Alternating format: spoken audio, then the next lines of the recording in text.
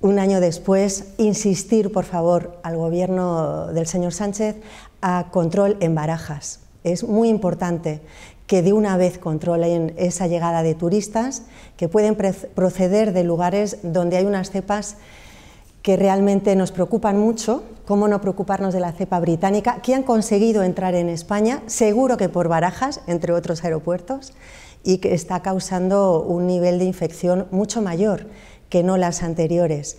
Eh, y qué decir de la cepa sudafricana, de la cepa brasileña, de la que se conoce poco, con lo cual es mejor tomar distancia. ¿no?